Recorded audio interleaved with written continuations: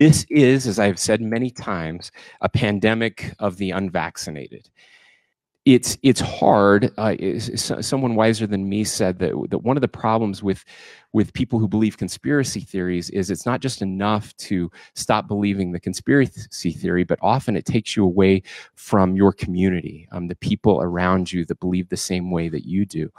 We love you. We care about you. I, pr- I promise I'm not part of some grand conspiracy theory.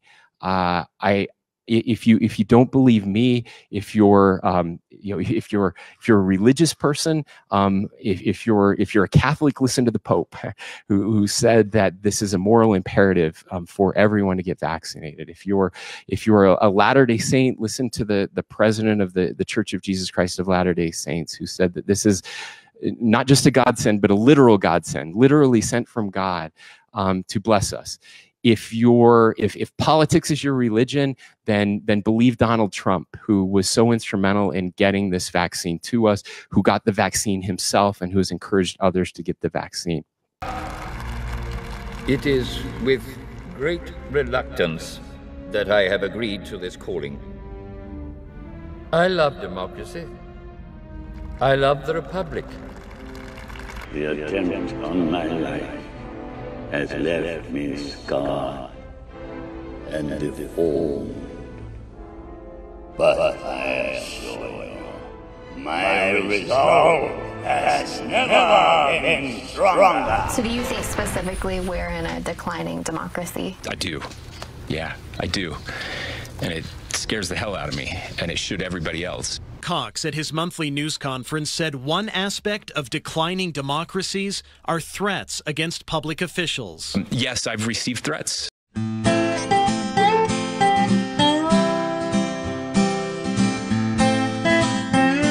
Well, welcome back to the Tree of Liberty Society. Make sure you don't miss another show by clicking on the subscribe button and going to Tree of Liberty Society and becoming a part of the solution. But uh, all those those clips that we saw of Tyrant Cox talking in the past. Those are those. That's all old news, right?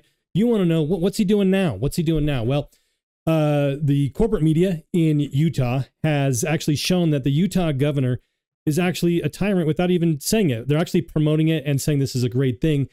Um, we have uh, on the KSL.com website, they were like making this big deal about how this tweet that Tyrant Cox has uh, put out uh, is just brilliant and it's going viral because all of these just you know huge globalists just love it so much. And so I want to just show you a, a, little section from this article at KSL talking about Ackman, a Harvard graduate, and then how he shared this tweet from Tyrant Cox. And he shared Cox's post saying that it was brilliant. Well, what's so brilliant about uh, Cox's post? Because they also have a, a senior fellow at the American Enterprise Institute and of course a Deseret News contributor. All these globalists and internationalists are saying this was just genius. Uh, Cox's post uh, from earlier this month in May. And uh, Cox, uh, Tyrant Cox says, can't stop thinking about this Francis uh, Fukuyama paragraph in his book, The End of History. But supposing that the world has become filled up, so to speak, with liberal democracies, such that there exists no tyranny and oppression worthy of the name against which to struggle. Experience suggests that if men cannot struggle on behalf of a just cause, because that just cause has uh, was victorious in an earlier generation, then they will struggle against the just cause. They will struggle for the sake of struggle. They will struggle, in other words, out of a, a uh, certain boredom, for they cannot imagine living in a world without struggle. And if the greater part of the world in which they live is characterized by peaceful and prosperous liberal democracy, then they will struggle against that peace and prosperity and against democracy.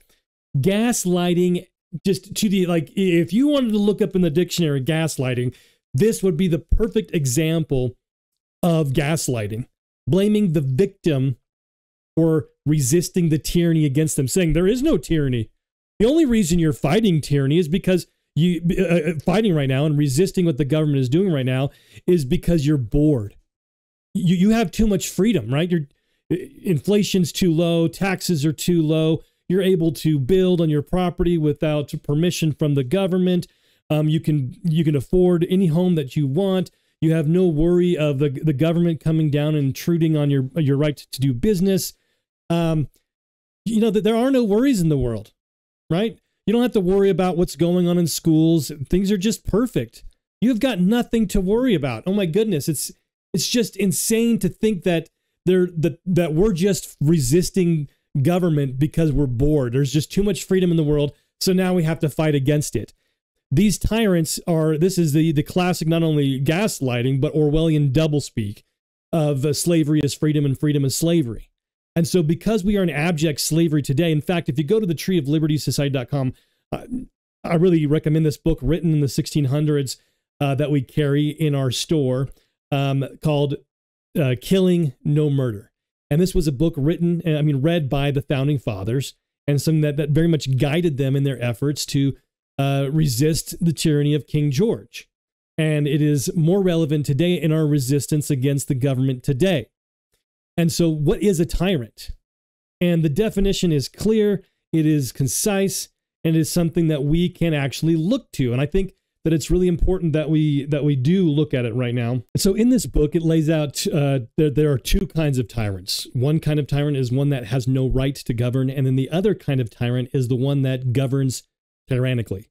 So even if you don't govern tyrannically, if you have no right to govern, you are a tyrant. And of course, even if you are legitimately in, in position of power, but you govern tyrannically, you are a tyrant.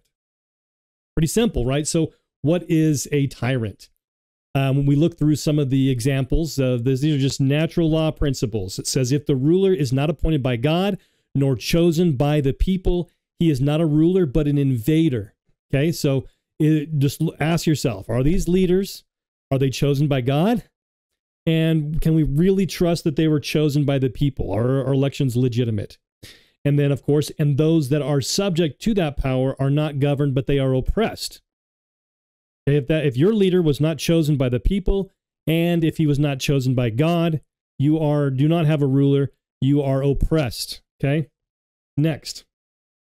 Often in these uh, that these tyrants to be able to puff themselves up and to make themselves look like they are your friend. They will this book gets into it, it says that they will pretend to defend liberty. They'll give just these powerful speeches, they'll use the military.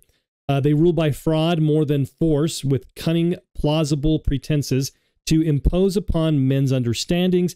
And in the end, they master those that had so little wit as to reply, uh, rely on their faith and integrity. So they will lie to the people to get them to subject themselves to the tyranny that he wants to put upon them. Then he will slowly rid the ranks of government and or mili- and the military of moral people and then slowly replace them with others that are immoral and that want to help him in his um, uh, efforts to impose tyranny.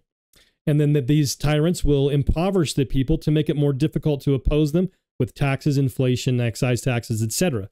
The you know the, the charging of your ability to do business with one person or another. Is that not going on today? Oh my goodness, it's insane.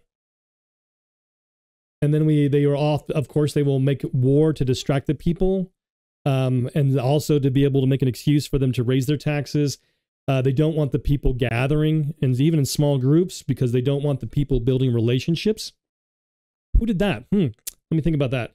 Those of influence and religion will make the people believe that the government is good. Uh, they get disposable people to do his dirty work for them so he can fire them and make the people happy, but nothing actually changes. And of course, they claim to be religious and God fearing. Didn't we hear that? All of these things from not not just this tyrant Cox, but from all of our basically all of our uh, political leaders today. So now, who is this individual that Tyrant Cox is using to gaslight us into thinking the only reason we would resist their rule is because we're bored? We have too much freedom. Who who is this Fukuyama? Okay, so according to uh, Wikipedia, uh, Fukuyama, of course, he was a, a neocon. He is one of the early founders of the neocon, neoconservatism movement. What is a neocon? Uh, I will put a link to a longer video explanation of that in the description of this video because uh, I think it's important to go into more detail, but I didn't want to kind of get distracted with that. But essentially, uh, a neocon is, or a neoconservative, is a, a, a globalist for the warfare state, whereas on the left they're globalist for the welfare state, and on the with the neocons it's the right. They are the they are globalist for the warfare state, and they want to. They were uh, of course behind things like the Patriot Act. They were the ones behind things like um, you know the, the invasion um, in Iraq, and he was a part of the RAND Corporation, which is also another globalist organization linked to the Council on Foreign Relations, and uh, being uh, major pushers of government control of the internet. Um, another uh, organization that he just happens to be a part of is looky here on the CFR.org website on their membership roster. You have him as a member of the Council on Foreign Relations, a openly globalist organization with their report saying that they need to empower and uh, give more power to the United Nations until it is a global government. And so, this globalist, this tyrannical globalist, this person promoting globalism and world tyranny, is someone that wrote about how the only people that are opposing their global tyranny are people that are bored because, you know, there is no more tyranny. And so Spencer Cox just really has this connection with this globalist that wants to build world government. And then, of course, he uses it to gaslight us to say, you know, the only people opposing me are, are people that are bored because they have too much freedom. It's disgusting. We need to understand these principles. And so that we can not just, you know, go on the defense and say, no more, you know, stop this new thing you're doing against me, but we need to go on the offense and start to tear down their towers. And that none shall deliver please go to the Tree of Liberty Society.com, become a member today, support this work that we're doing, and uh, things that you will never hear anywhere else. Tree of Liberty Society.com. We'll see you there.